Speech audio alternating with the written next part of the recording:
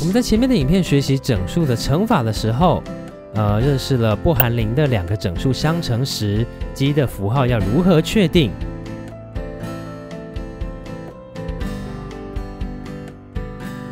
那这个规则用在分数的乘法里面也是一样的。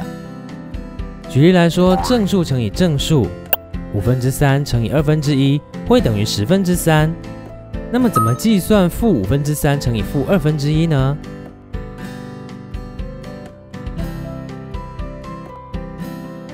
我们可以先把五分之三和二分之一相乘。那这里你看到有两个负号。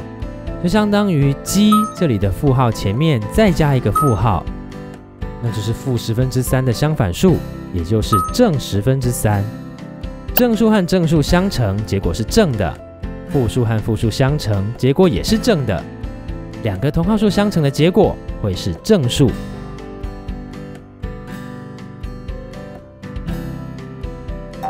如果是异号数呢？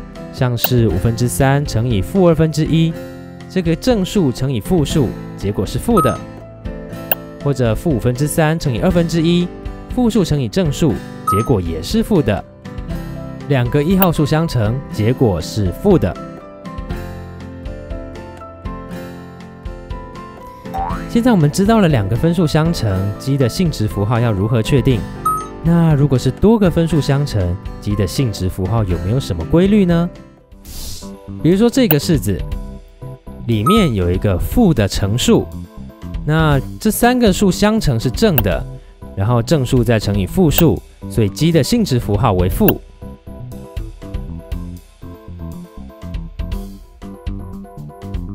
现在我们在这里再加一个负号，变成有两个乘数是负数，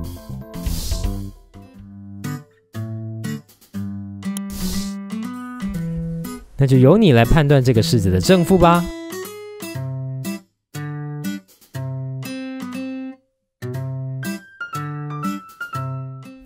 答案是 A，这两个数相乘积为正，正数乘负数积为负。接下来负数和负数相乘，积的性质符号为正。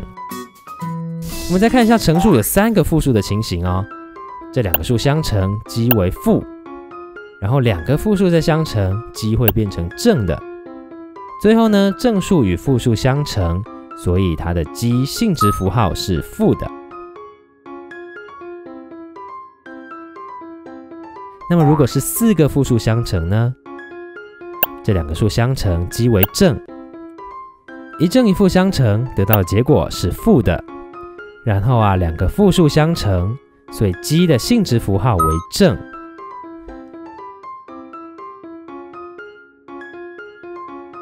好，我们现在来观察一下式子当中负乘数的个数和积的性质符号之间的关系。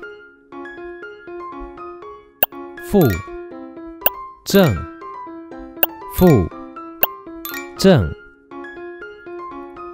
我们可以总结出来：当有几个不是零的数相乘的时候，负数的个数如果是奇数时，它们的奇性质符号为负；负数的个数如果是偶数时，它们的奇性质符号为正。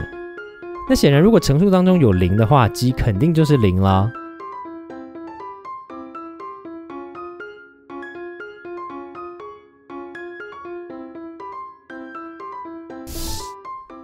接下来我们做个练习。这个式子当中的负数有三个是奇数，因此啊，它的奇性质符号为负号。然后我们再把这些数的部分相乘，按照以前学过的分数的乘法进行约分。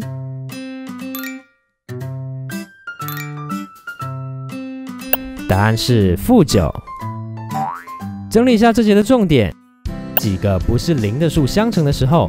负数的个数如果是奇数时，它们的奇性质符号为负；负数的个数如果是偶数时，它们的奇性质符号为正。那显然，如果乘数当中有零的话，积肯定就是零了。在计算多个分数相乘的时候，我们要先确定积的性质符号，再将数的部分相乘。这支影片到这结束喽，请你多练习几次才会熟练哦。那我们下次再见吧，拜拜。